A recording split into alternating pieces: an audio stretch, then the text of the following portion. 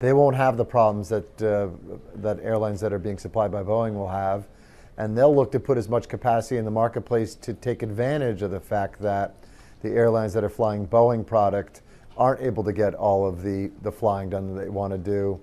Um, you know, the truth too here is I think that.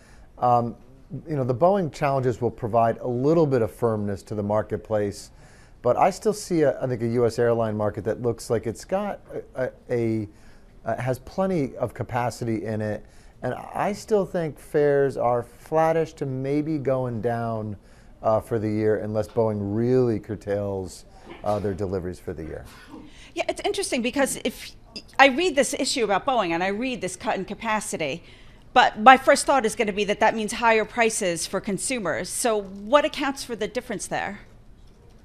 Well, first of all, I think the U.S. market already had sufficient capacity last year, right? I think we're, we're bouncing back from a pandemic. Uh, we saw a bunch of sort of re- revenge travel, you know, earlier in this in this bounce back. I, I don't, and that was very leisure driven. I don't think we're going to see as much of the leisure driven travel this year. Not the I got to pay whatever it's going to take mm-hmm. to get down to Disney. So you'll see maybe a small, um, a smaller growth amount in leisure, and business isn't fully back. We we know that. So we've got 2019, more than 2019 levels of capacity in the marketplace, less business, and maybe a little more leisure.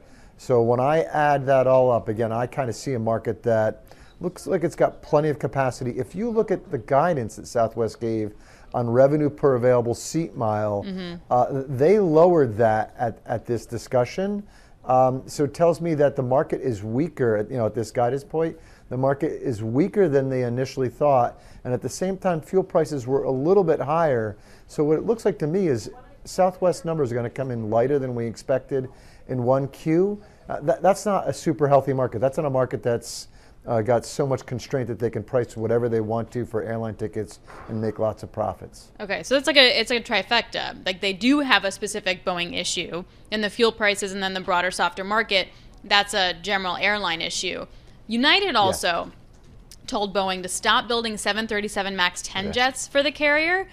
Yes. Okay, that sounds dramatic and bad. What does that actually mean? You know, I think it sounds like uh, Scott Kirby, the CEO of United, is just getting real about what he thinks Boeing can deliver in the near term. I, I guess, you know, if you sit around and you kind of hope and hope and hope they're going to get the MAX 10 certified, uh, and you wait on those deliveries based on that hope, and the certification keeps getting pushed out, and you, it's really hard to plan. So Scott Kirby said, hey, look, stop worrying about the Dash 10, just bring me Dash 9. He was saying, look, I just want airplanes. Bring me airplanes. I think the market's generally going to be strong for me. He's in the premium segment too, right? Which I think from the guidance we saw today from airlines, premium is holding up better. So he wants airplanes. He wants to go out and find some of those 321 larger scale from Airbus. Uh, again, I, th- I, think it's I think it's okay. I think Scott's being a realist. There's a lot of challenges right now at Boeing, and it feels to me like certification for the Dash 7 and the Dash 10. The, you know, the Dash 10 being the biggest variant of the 737. there's just almost no way they're going to get pushed out longer than what we expect, given the problems in manufacturing at Boeing right now. And what is that? So, is there any read across that we should start thinking about for Airbus? Well, well, I mean here's the challenge of this industry, right? The read across is look, Airbus ought to be able to go get a lot more orders for its Airbus A321.